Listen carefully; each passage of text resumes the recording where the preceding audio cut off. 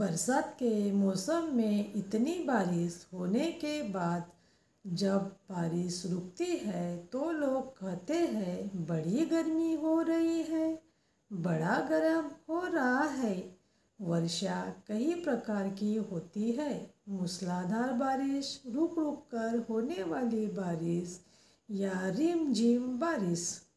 कितने सारे लोगों के मुँह से ये शब्द निकलते हैं।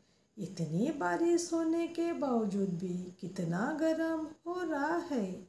आखिर पानी किधर बह जाता है? कल ही तो इतनी बारिश हुई और आज इतना गर्म। जब बारिश होती है तब बड़ा अच्छा लगता है। रास्ता भी खुद से बातें कहता है।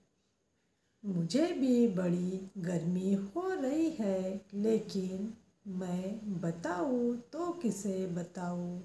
मैं बहुत जर रहा हूँ, मैं बहुत तप रहा हूँ।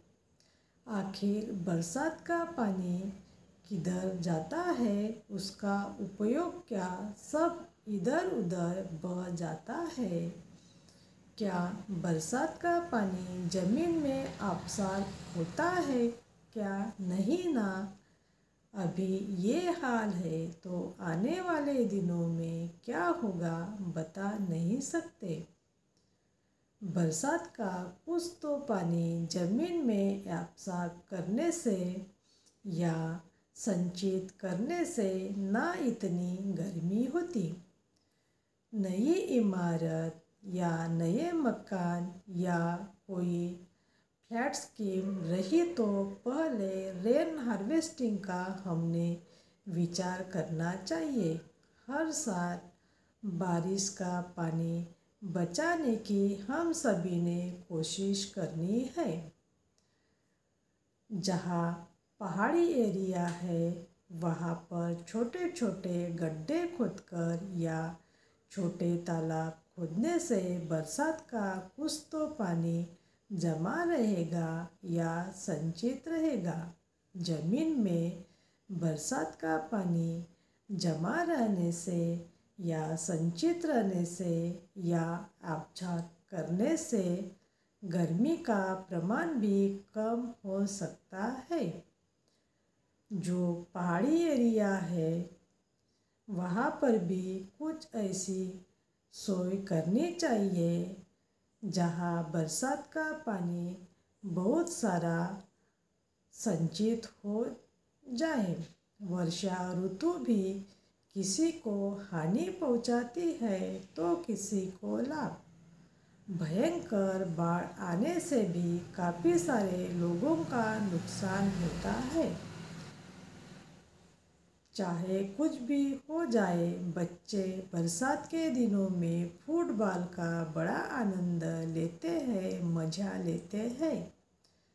इसी बहाने ये गाना रिम झिम गिर सावन, सुलग सुलग जाए मन, भीगे आज इस मौसम में लगी कैसी रिम झिम गिर सावन सुलग सुलग जाए मन। भीगे आज इस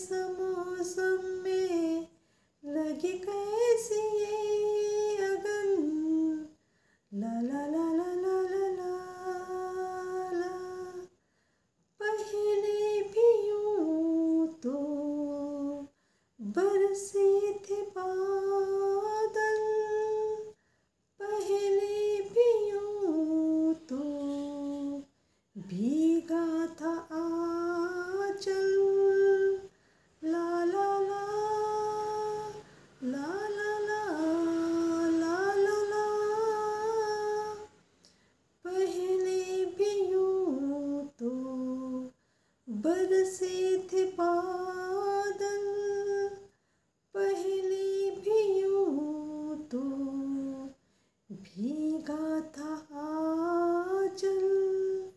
अबक बरस क्यों सजन? सुलग सुलग जाए मन। भिगे आज इस मौसम